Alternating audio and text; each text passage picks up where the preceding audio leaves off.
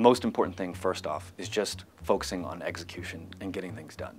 Uh, there is, in the startup world, as just in the larger business community, there's lots of talking and strategizing and over-intellectualizing the process. And at Three Day Startup, what we found along the way is that the most valuable thing, most of the time, is just taking action. Three Day Startup is an entrepreneurship education program for university students. It's based on learning by doing. A lot of schools across the country, the way they teach entrepreneurship is taking tests and writing papers. And we figured that there's probably a better way to do this, one that's going to be um, more instructive and just have better results. Um, again, the learning by doing model is all about actually starting companies. So our program, during one weekend, students are actually starting companies, whether they know how to or not. You can start a company in three days. I see it happen all the time. Our goal at Three Day Startup is to cram three or four months worth of progress in terms of starting your company moving forward in a weekend. And when we started it, we didn't even really know what we were doing. We actually saw this happen. Now we've gotten a lot better at that model and we make it happen on a regular basis at universities all over the world. All of us who founded Three Day Startup, we'd either founded or worked in startups before. And when I was in grad school at UT, it's where I met the co-founders for Three Day Startup. And we noticed that there was, the students were all facing very, um, these problems related to actually starting companies. Finding co-founders, finding money, finding mentors and, and being successful at executing, you know, releasing products um, and raising money, that sort of thing. So we wanted to actually solve all those problems at the university level because we saw a lot of potential there that just wasn't being currently expressed. So we've done over 50 programs all over the world but we're actually uh, most proud of a lot of our Austin companies just because that's where we've had the most three-day startup events.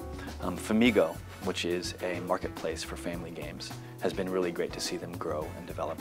Um, there's Ordoro that does uh, inventory management for e people selling uh, goods online, as well as Hoot.me. And they, what they do is turn Facebook into study mode. So these are three of, um, of about 50 companies that have come out of the program that we're really excited to see where they go. I think one of the greatest things about Austin Talent is that you can actually find it. Um, it's around. Austin is a good kind of Goldilocks thing. It's in the middle. It's not too big where you get lost in in the churn, but it's not too small that there's not enough volume of talent. Here in Austin, there's lots of people who are really talented. You can find them and you can approach them and work with them. There's not a lot of attitude at all in this town. And so it's really easy to get in contact with the people who are going to become your early employees and, co-founders. I think what's great about the Austin talent pool is that it's real talent. What's funny is some of that talent doesn't actually know it's talent. But one of the differences between Austin and New York and LA is that in LA everyone has you know, a screenplay. Uh, in Austin, everybody has a startup that they're working on. So a lot of them are full-time, a lot of them are part-time. But what I'm continually impressed with is just the depth of talent for these people and the projects they're working on. I graduated in 2000, and I'd heard about Austin for two reasons. Uh, for the tech scene and for the music scene. And that's exactly why I moved here, to play in bands and do tech startups. During Three Day Startup, we're entirely focused on execution.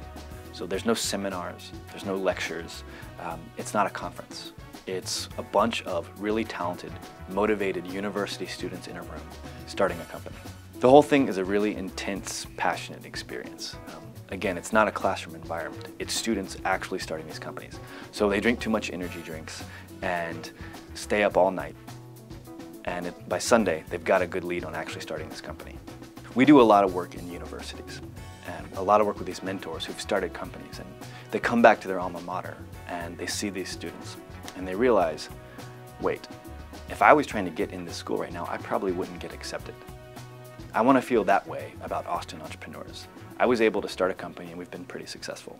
But I would like the continued kind of vibrancy and life and talent in this city to keep growing at the pace that it is so that if I were to try to do this again in another 10 or 15 years, it would be a totally different landscape with that many amazing people.